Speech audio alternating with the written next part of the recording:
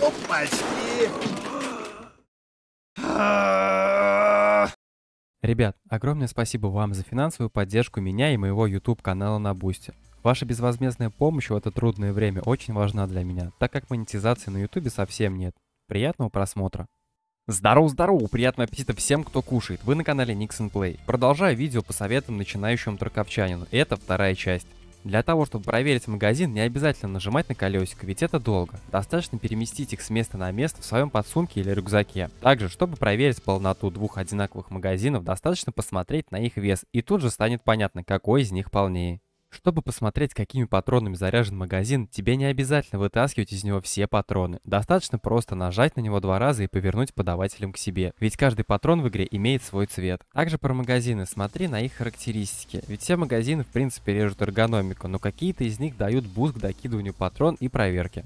Пикай правильно, выходи из-за угла не в бок, используя кнопки А и Д, так ты теряешь свою мобильность, а выходи круговыми движениями, используя ВАСД. Так моделька твоего персонажа будет меньше показываться из-за угла. Или же, если позволяет пространство, просто пробеги из одного конца в другой и поверни голову. Таким образом ты прочекаешь противника, а сам не подставишься.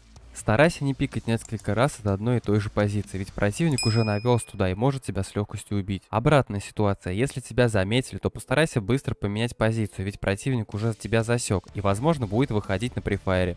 Когда у тебя перегруз, а стычка с противником неминуема, то в таких ситуациях я советую тебе забрасывать рюкзак, чтобы быть более быстрым и мобильным. Только главное запомни, где ты его скинул, а то были у меня случаи, скинул рюкзак, а потом ищи свищи его.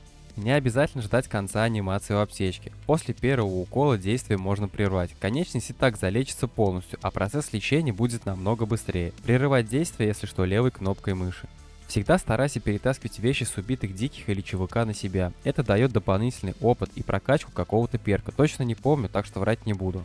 Выбираясь в рейд, подбирай снаряжение под ситуацию и карту. К примеру, для леса хорошо подойдут марксманские винтовки. В то время для того, чтобы драться в общагах таможни, лучше взять ствол покороче, будь это ПП или любое другое короткое оружие, так как там замкнутое пространство и длинный ствол будет задираться.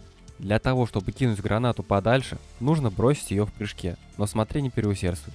Не забывай про использование обезбола. Старайся перед тем, как идти в предполагаемое место, где могут быть другие ЧВК, закинуться обезбольчиком. Много раз я попадался, что при перестрелке выбивали ногу. И все, считай труп. А с обезболом, возможно, бы и выжил. Так что не забывай про него. На этом пока что все. Спасибо, что досмотрел видео до конца. Обязательно подпишись на канал и напиши комментарий. Удачи в рейдах!